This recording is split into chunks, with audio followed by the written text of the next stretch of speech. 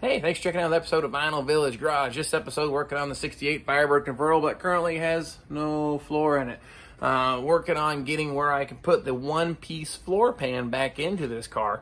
The inner rocker panel, particularly the passenger side, was a lot rougher than I thought it was. The driver's side needs a little patch, but not a big issue. But they don't make inner rocker panels for convertibles for first-gen F-body. So doing some homework, doing some research, didn't learn a whole lot. So I'm doing a bit of an experiment and I wanted to share it with you.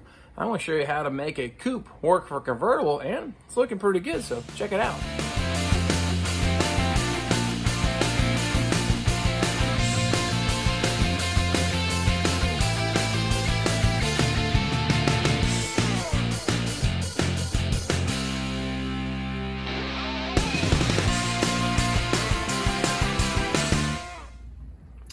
Well, first off, I've actually got the passenger side kind of mocked up. i am going to take it back off and show you how I made that work. But I wanted you to kind of see what it's looking like going in. Because if you look here, the ledge is relatively small from the edge where it's bent to here in the middle, particularly where the seatbelt mounts up, is only about, oh, let's say about a half inch.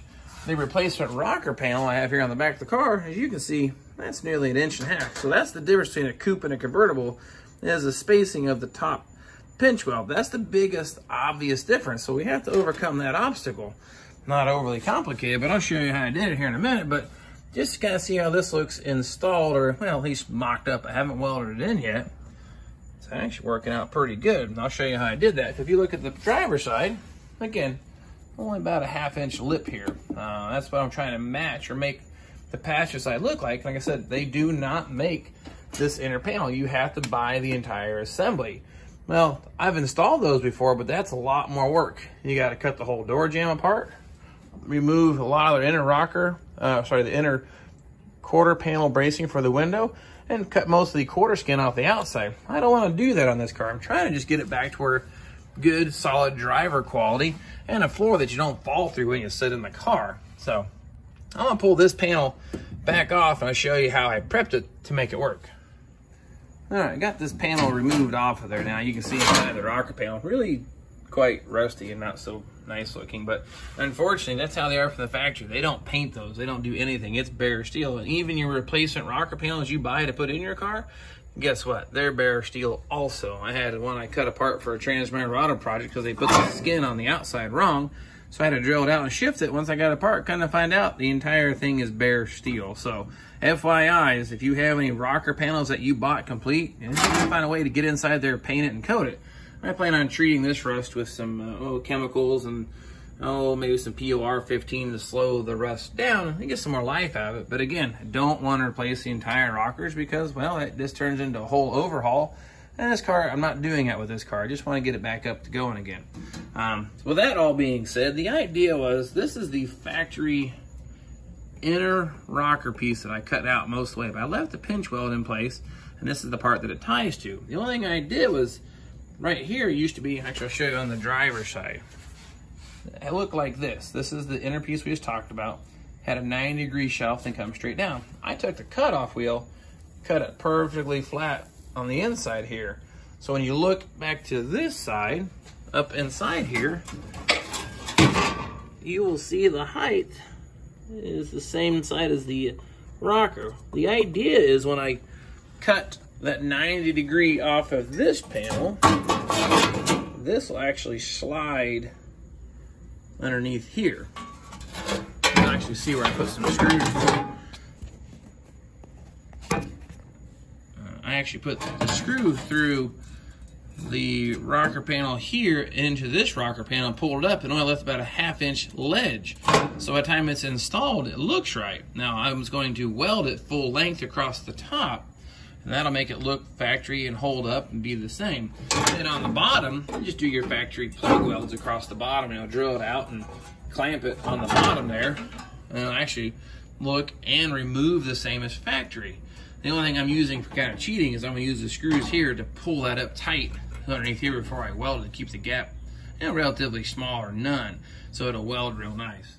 So I guess what I'm saying, to make a coupe, this is an uncut one, rocker panel work in a convertible, you literally just have to cut this top ledge here off. Um, cut all the way to the end of it. And when you get to the front side of it, you gotta get a little creative, but then kind of follow this line here, like I did on this one. I notched it a little bit, but then it'll actually lay up in place like it's supposed to. I'll get this put back in, I'll show you how it looks, but uh, I think it's gonna work really good. All right, now, what I've done, I just got one pair of vice grips on here, so it's not necessarily exact right where it needs to go, but you get the idea. This original panel was nearly two inches wide. It's clear back into here right now. What I've done, of course, I put a screw through here. It'll actually, you see the gap, about uh, not quite a quarter inch, 3 sixteenths of an inch or so. It'll pull that up tight right underneath this, and I can just lay a nice weld right across the whole top of that, and it's gonna pull it up pretty good. And it holds true all the way back here to the back. Um, I'll pull this up into place. Uh, same thing, and I'll actually then, this will be the same height as that. And then we'll go ahead and weld that complete. Then across the bottom, just do your normal plug welds uh, across here. And it'll clamp up and look up real nice. I'll show you underneath, underneath here too. And when you get to the front, how I cut this out, it actually follows the contour like the factory one. It just has a nice clean edge and then they just welded it right here. And then same thing, then this gets welded to the floor pan, the toe board, so that's gonna pull it pretty good. Then when we're all done, this is actually getting pretty close to the gap here. We'll just clamp that together to pull the rest away. And then the floor pan then sits right on top of this, gets welded, tucks in between these two panels, and this gets clamped shut. It'll pull shut. So that's the plan. I think it's gonna work pretty good. I'll climb down under the car and you'll see the pinch weld here when I'm all done. This is the outer rocker or outer skin, and this is the piece I'm installing now, the inner piece. It actually needs a nice tight gap, and it's I can massage or change the height of it, but it's right on the same height. So again, like I said, the convertible and coupe rockers, well, they're the same height. So I think it's gonna work out all right. We just come back through now and drill some holes, put some plug welds in here, and we should be good to go. Well, now you've seen the top and the bottom. The next step is I'll take this panel back out and clean all the EDP coating off of this full length of the rocker panel. That way I can come back and weld it and weld it real nice and clean. Then while this is out, go ahead and paint the inside of the rocker panel. So that's gonna be the next step. But I guess to say the goal for this video eh, was to show you how to make a coupe inner rocker panel work for a convertible. Well, that's gonna do it for this time around. I guess we did answer the question, does a coupe inner rocker panel for a first gen F body work for a convertible? Sure, very minimal modification and it went right in there. Plus it's only $45. So gotta love that part. A complete convertible rocker panel is about 300 bucks plus probably gouge you for $100 for shipping. Um, or the option is you buy a $45 rocker panel, spend about five minutes cutting that top 90 degree bend off it, fitting it in here and welding it into place. So um, nobody makes an inner rocker panel for a convertible yet. I'm not sure why. Obviously the stamps are there to make them, but they don't sell them individual pieces.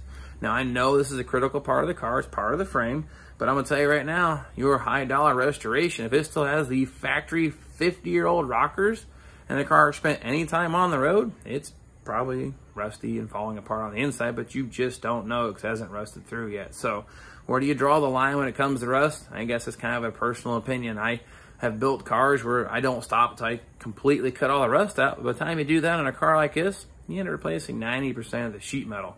Not the goal with this car. This car, just want to get it back up to solid, good driving condition. Like I said, you probably have an original car. It's 50-year-old rocker panels that probably aren't much better than these ones. Um, but you don't know. But that's the plan here. Make it good and solid. Not spend a whole lot of money. Have some fun doing it. Share the videos with you. Maybe give you some knowledge or insight and on your project and help you move along on yours. So appreciate you following us. Um, of course, a big, huge thanks to all the current subscribers. I'm growing pretty good. I'd like to think I'm doing all right. Of course, any feedback, something you'd like to see or something you might want to know, I might have the answer. Hit me up in the messages. Let me know. Uh, I've got a lot more videos yet to do on this car and this progress.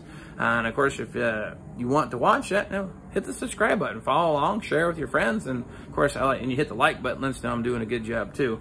Um, again, like I said, this uh, camera stuff, it's new to me. Building cars, now doing it probably 20 years, so love doing this. Want to share the journey with you guys, and of course, I get cool videos I can watch, and I'm old and now in nursing home, and I'm getting old, and I can check out what I used to do. That was the big goal of this channel originally, but don't tell anybody. Um, anyway, I'm gonna get back to it, do some painting next, seal up this rust and slow it down and put it to a halt, and then I'll start working on the driver's side. Like I said, I may do about the back half, back third of that one, depending on how rusty it is. But if I have to, I got the entire rocker panel. I can modify it just the same and work out great. So that's going to do it. Um, I'm going to get back to it. In the next video, you'll see some more of the uh, floor pan patching. But the goal of this video is just say, yep, you can make a cheap inner rocker panel for a first gen F body. So that's going to do this time around, and we'll see you next time.